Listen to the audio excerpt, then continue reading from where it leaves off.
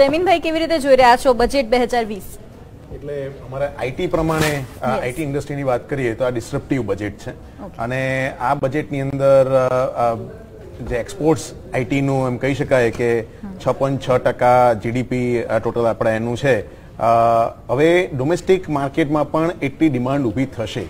કારણ કે એ લોકોએ લોંગ ટર્મ ઇન્વેસ્ટમેન્ટ અને લોંગ ટર્મ પ્લાન સાથે ગામડા સુધી ભારત નેટની કનેક્ટિવિટી ડિક્લેર કરી છે. સાયબર સિક્યોરિટી અને ધ્યાનમાં રાખીને એ લોકોએ પોલીસ અને ફોરેન્સિક યુનિવર્સિટી સ્થાપવાનું નક્કી કર્યું છે. એવી જ રીતે એ લોકોએ સ્પેશિયલાઇઝ સ્માર્ટ સિટી ઊભા કરવાનું કરેલું છે.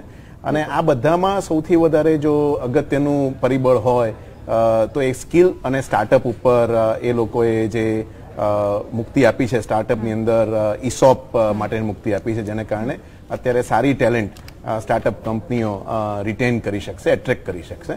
અને સ્કિલનું મહત્વ વધારે આપેલું છે જેના કારણે જે આઈટી ઇન્ડસ્ટ્રીમાં અત્યારે ન્યુઅર ટેકનોલોજી નો ઉપયોગ કરવાનો છે એના માટે જે સ્કિલની જરૂરત પડશે એ જલ્દીથી મળી રહેશે. જયમીનભાઈ જે રીતે આઈટી સેક્ટરને આપ જોઈ રહ્યા છો જે રીતે સ્ટાર્ટઅપ્સને જોવામાં આવે છે આગામી સમયમાં જે નવી કંપનીઝ છે તેમને કેટલો ફાયદો બજેટથી આમાં ફાયદો ઘણો બધો દેખાય છે કારણ કે એક મોટું એનાઉન્સમેન્ટ કર્યું કે ડેટા સેન્ટર્સ વધારે વધારે ઓપન કરવામાં આવશે.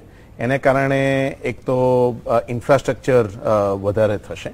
બીજું એની સાથે સાથે સ્કિલ એની જે આપણે ત્યાં છે એ રિટેન્શન અહીંયા જ થશે. અને ત્રીજું કે એમને કારણે ફોરેન ઇન્વેસ્ટમેન્ટ આવશે. અને જે ફોરેન ઇન્વેસ્ટમેન્ટમાં જે ડિવિડન્ડ ડિસ્ટ્રીબ્યુશન ટેક્સ જે કાઢ્યો છે એને કારણે ફોરેન ઇન્વેસ્ટર્સ અહીંયા ઇઝીલી ઇન્વેસ્ટ કરી શકશે. આ એક કારણ છે. બીજું કારણ કે જે ગવર્મેન્ટે કહ્યું કે અમે artificial intelligence internet of thing three D printing એ બધાના ઇનોવેશન સેન્ટર્સ અમે ક્રિએટ કરીશું. જેને કારણે વધારે ને વધારે એમ્પ્લોયમેન્ટ ઊભા થવાના ચાન્સીસ વધશે.